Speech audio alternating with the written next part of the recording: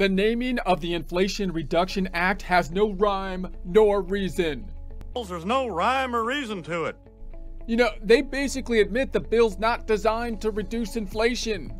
So I tried turning the chronological gauge backwards. It's not designed to go backward, Brian. So there's no rhyme nor reason for the name. That makes no sense. What do you mean? Sure it does. Oh, the truth. I mean, it's like they're not even trying anymore. Find Waldo yet again. Man, he's just not trying anymore. We know they threw reason out the window a long time ago, but if they're not going to give us any reason, at least they could give us a nice rhyme. You know what I mean? Need you to put your entire soul into it. Now rhyme, Jazzy, rhyme. I got nothing. Just take me back to my candles. Like, uh, how hard can it be to make a nice rhyme? You know, something like, if it don't fit, you must acquit. If Chewbacca lives on Endor, you must acquit. The defense rests. At least then we could be like, well, uh, yeah, it did sound cool.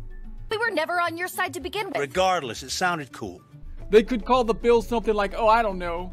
Even though it's clearly just a scam, just keep giving money to the man.